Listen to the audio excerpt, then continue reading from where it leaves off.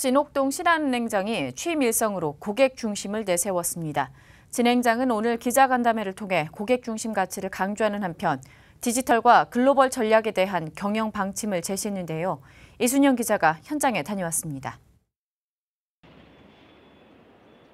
진옥동 신한은행장이 제가 나와 있는 이곳 신한은행 본점에서 오늘 취임식을 갖고 본격적인 업무에 나섰습니다.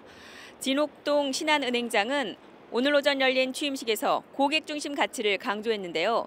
그는 진정한 1등 은행이 되기 위해 첫 번째로 기억해야 하는 가치는 바로 고객이라며 임직원들에게 고객의 중요성을 전달하고 은행의 전략과 추진 사업은 물론 상품과 서비스 전반을 고객의 관점에서 돌아보고 신안을 찾는 모든 고객에게 새로운 가치와 경험을 제공해야 한다고 당부했습니다. 이어 열린 기자간담회에서는 고객의 성공을 함께 영위하는 동반자로서 역할을 해나가며 직원들이 자긍심을 느끼게 하는 것이 은행의 역할이라고 생각한다고 취임 소감을 밝히며 디지털 혁신과 글로벌 추진 전략을 제시했습니다. 진행장은 은행의 디지털 부문이 화두가 되고 있는 가운데 디지털 기업이 되기 위해서는 조직의 변화가 있어야 한다고 밝히며 올해 채용부터 변화를 줄 계획이라고 밝혔습니다.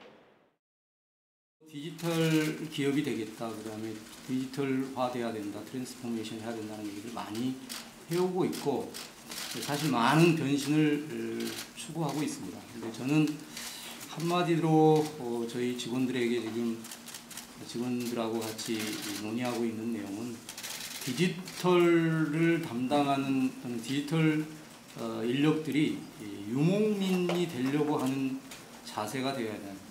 디지털 transformation까지 이르기 위해서는 그 전에 조직이 디지털을 향해서 많은 조직의 변신이 있어야 되고 또 한 가지는 그 전에 또 디지털 인재를 확보해야 되고 그는 인력 채용에서 보면 진정한 디지털로 가기 위해 채용 방식도 바뀌어야 한다며 과거에는 상경계에서 직원을 뽑아 IT로 전환 배치하는 구조였지만 앞으로는 IT에 대한 기본적 소양을 갖춘 사람을 뽑아 영업사원으로 해야 하지 않을까 하는 발상의 전환을 직원들과 논의하고 있다고 전했습니다.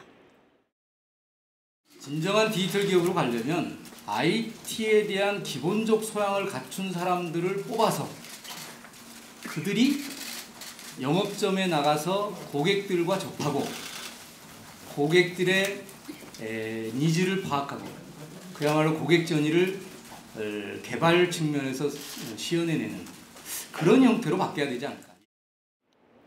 진행장은 1997년 오사카 지점에 발령받아 일본에서 실무를 담당하고 오사카 지점장, 신한은행 일본법인 SBJ 은행 사장 등 38년 경력 중 일본에서만 18년을 보냈습니다.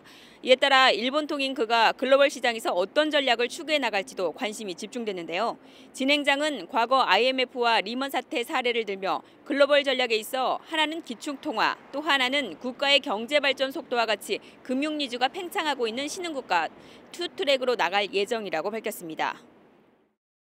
기축통화 지역에서의 글로벌 전략은 그 지역의 그 기축통화를 조달할 수 있는 그 채널을 갖지 않으면 안 된다. 그래서 한국의 어떤 그 통화 변동 리스크, 지정학적 리스크 이런 것들을 감안해 본다면 기축통화 지역에 예, 분명히 좀 똘똘한 어, 채널을 하나 가지고 있어야 된다는 게 하나고요.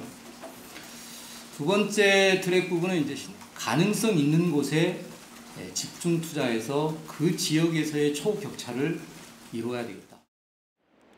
진행장의 당면 과제는 지난해 차지한 leading bank 위상을 지켜내는 것입니다. 고객 중심 가치와 디지털 글로벌 혁신을 내세운 진행장이 일본에 이어 국내와 글로벌 시장에서 어떤 실력을 발휘할 수 있을지 주목됩니다. 팍스경제 TV 이순영입니다.